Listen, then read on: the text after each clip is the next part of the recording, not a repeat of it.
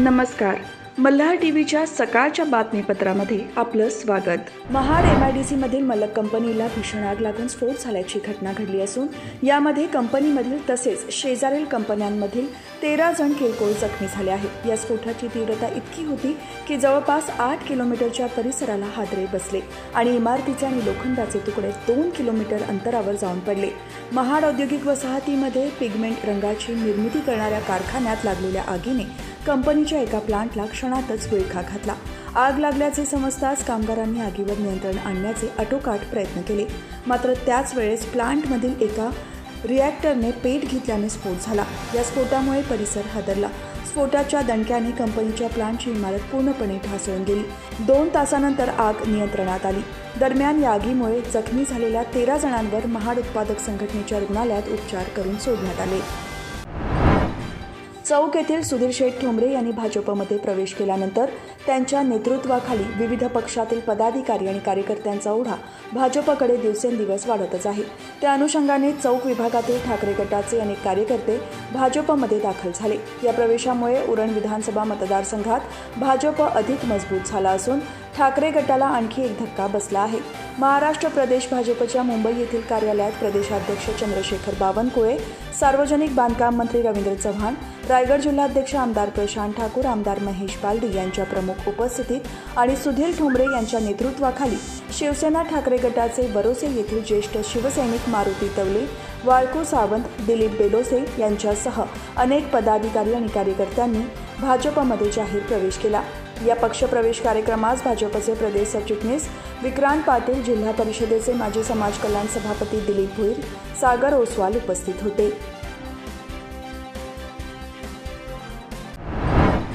ज्येष्ठ निरूपणकार डॉक्टर अप्पासाहेब धर्माधिकारी यांना महाराष्ट्र भूषण पुरस्कार जाहीर करण्यात आला आहे. अध्यात्म समाज प्रबोधन सामाजिक कार्य अंधश्रद्धा निर्मूलन यासाठी केलेल्या कार्याची दखल घेत राज्य सरकारकडून या पुरस्काराची घोषणा मुख्यमंत्री एकनाथ शिंदे यांनी केली. त्यानिमित्त रेवदंडा येथे मुख्यमंत्री एकनाथ शिंदे आणि उपमुख्यमंत्री देवेंद्र फडणवीस यांनी अप्पासाहेबांची भेट घेऊन त्यांचे अभिनंदन केले. यावेळी सार्वजनिक मंत्री रवींद्र चव्हाण भाजपचे रायगड जिल्हाध्यक्ष आमदार प्रशांत ठाकूर आमदार भरत गोगावले महेश बालदी रविशेठ पाटील महेंद्र थोरवे महेंद्र दळवी यांच्यासह धर्माधिकारी कुटुंबीय उपस्थित होते. पद्मश्री डॉक्टर अप्पासाहेब धर्माधिकारी गेली तीस वर्ष निरूपण करत असून अंधश्रद्धा बालमनावर संस्कार करण्यासाठी त्यांनी विशेष बालसंस्कार बैठक सुरू केल्या आणि आदिवासी वाडी वस्त्यांवर व्यसनमुक्तीचे मोठे कार्यही केले. त्यांनी आतापर्यंत केलेल्या समाजकार्याबद्दल त्यांना दोन हजार बावीस सालचा महाराष्ट्र भूषण पुरस्कार जाहीर झाला आहे. त्याबद्दल राज्याचे मुख्यमंत्री एकनाथ शिंदे आणि उपमुख्यमंत्री देवेंद्र फडणवीस यांनी अप्पासाहेब धर्माधिकारी यांची रेवदंडा येथील त्यांच्या निवासस्थानी भेट घेत त्यांचे अभिनंदन केले. राष्ट्रवादी काँग्रेसच्या वतीने संभाजीनगर येथे किला ए अर्क या औरंगजेबने बांधलेल्या महालाचा जीर्णोद्धार व्हावा अशी मागणी जिल्हाधिकारी यांच्याकडे केली आहे. याबाबत भाजपचे प्रदेश सरचिटणीस विक्रांत पाटील यांनी राष्ट्रवादी काँग्रेस सातत्याने औरंगजेबाच्या नावाचा उद्धार करत आहे. त्यांना औरंगजेबाचा इतका पोळका का आहे असा प्रश्न विचारत औरंगजेब जर तुमचे आदर्श असतील तर तसे राष्ट्रवादीने स्पष्ट जाहीर करा असे म्हटले आहे. राष्ट्रवादी काँग्रेस सातत्याने औरंगजेबाच्या नावाचा उद्धार करत आहे. त्यांना औरंगजेबाचा इतका पोळका का आहे? जितेंद्र आव्हाड औरंगजेबाचे कौतुक आणि शिवाजी महाराजांचा अपमान करतात. दुसरीकडे संभाजी महाराज धर्मवीर नव्हते अशी वक्तव्य अजित पवार करतात. म्हणजे नक्की यांचे आदर्श कोण आहेत? औरंगजेब जर तुमचे आदर्श असतील तर तसे जाहीर स्पष्ट करावे. आणि त्यांचा फोटो आपल्या झेंड्यावर लावावा. जनता राष्ट्रवादीचा खरा चेहरा ओळखून चुकली आहे. आणि आगामी काळात त्यांना धडा शिकवल्याशिवाय शिवप्रेमी शांत बसणार नाहीत असे भाजप प्रदेश सरचिटणीस विक्रांत पाटील यांनी सांगितले आहे. परिणिता सोशल फाउंडेशन आणि लायन्स क्लबच्या वतीने पनवेलमध्ये प्रथमच महिला उद्योजकांचे गृहोपयोगी वस्तूंचे भव्य प्रदर्शन दहा आणि अकरा फेब्रुवारीला पनवेल शहरातील गोखले हॉलमध्ये आयोजित करण्यात आले आहे. या प्रदर्शनाचे उद्घाटन पनवेल महापालिकेचे माजी सभागृह नेते परेश ठाकूर यांच्या हस्ते आणि नवी मुंबई महापालिकेचे अतिरिक्त आयुक्त सुजाता ढोले परिणिता सोशल फाउंडेशनच्या संस्थापिका Sakshi Sagvekar Maharashtra core committee leader Nandini Pandit यांच्या उपस्थितीत होणार आहे. या प्रदर्शनात विविध प्रकारच्या साड्या jewellery Lucknowi kurta western wear traditional kids wear पूजा साहित्य आयुर्वेदिक वस्तू यांसह अनेक गृहोपयोगी वस्तू खरेदी आणि विक्रीसाठी उपलब्ध असणार आहेत. तरी जास्तीत जास्त महिलांनी या प्रदर्शनाला भेट द्यावी असे आवाहन परिणिता सोशल फाउंडेशनच्या संस्थापिका साक्षी सागवेकर यांनी केले आहे. पर्यावरणाचा समतोल राखण्यासाठी सिडकोने पागोटे भेंडकळ करंजा बंदर या नव्याने निर्माण करण्यात आलेल्या कोस्टर रोडवर नारळाची झाडे लावण्याचं आणि जतन करण्याचे काम हाती घेतले आहे. पण वारंवार ही झाडे आगीच्या भक्ष्यस्थानी पडत असल्याचे पाहायला मिळत आहे. द्रोणागिरी नोड परिसरातील वाढत्या प्रदूषणावर नियंत्रण ठेवण्यासाठी सिडकोने द्रोणागिरी नोड परिसरातील रस्त्यांवर विविध प्रकारची झाडे लावण्याचा संकल्प शासनाच्या माझी वसुंधरा झाडे लावा झाडे जगवा या माध्यमातून हाती घेतला आहे. त्या धर्तीवर सिडकोने पागोटे भेंडकर करंजा बंदर या द्रोणागिरी नोड परिसरातील नव्याने निर्माण करण्यात आलेल्या कोस्टल रस्त्यांवर ऐंशी लाख रुपये खर्च करून नारळाची झाडे लावण्याचा संकल्प हाती घेतला आहे. मात्र या गवतावर वारंवार आग लागण्याच्या घटना घडत असून या आगीत नारळाची झाडे होरपळून निघत आहेत. नुकतीच या रस्त्यालगत असलेल्या गवतावर आग लागण्याची घटना घडली. ही आग महानगर गॅसच्या पाईपलाईन लगत लागली असून या पाईपलाईनला आगीची झळ बसली तर मोठा अनर्थ घडू शकला असता. याबाबत प्रवासी नागरिकांनी सिडकोच्या अधिकारी वर्गाने नारळाच्या झाडाचे जतन संवर्धन करण्याचा ठेका घेणाऱ्या ठेकेदारावर कारवाई करावी अशी मागणी केली आहे. उरण बोकडबिरा येथील महाराष्ट्र राज्य वीज मंडळाच्या वायू विद्युत निर्मिती केंद्रात नऊ ऑक्टोबर दोन हजार बावीस रोजी झालेल्या दुर्घटनेत junior engineer Vivek Dhumal technician Kundan Patil Vishnu Patil यांचे निधन झाले होते. या दुर्घटनेतील मृत अधिकारी आणि कर्मचाऱ्यांच्या स्मरणार्थ महानिर्मिती कंपनीच्या वतीने कंपनीच्या प्राथमिक आरोग्य केंद्रात रक्तदान शिबिराचे आयोजन केले होते. बेलापूर येथील अपोलो हॉस्पिटलच्या सहकार्याने आणि महानिर्मिती कंपनीच्या सौजन्याने या रक्तदान शिबिराचे आयोजन करण्यात आले असून या शिबिराला उत्स्फूर्त प्रतिसाद लाभला. या रक्तदान शिबिरात एकूण साठ रक्तदात्यांनी रक्तदान केले. यावेळी उरण वायू विद्युत निर्मिती प्रकल्पाच्या कार्यकारी अभियंता डॉक्टर अनुप्रिया सावंत उद्योजक सदानंद गायकवाड अपोलो हॉस्पिटलचे डॉक्टर शमला सुब्रामानी डॉक्टर ऋत्विक कुलकर्णी यांच्यासह मान्यवर उपस्थित होते. भारताच्या संविधानातील समता बंधुता आणि न्याय या मूलभूत तत्वांचे पालन बंधनकारक आहे.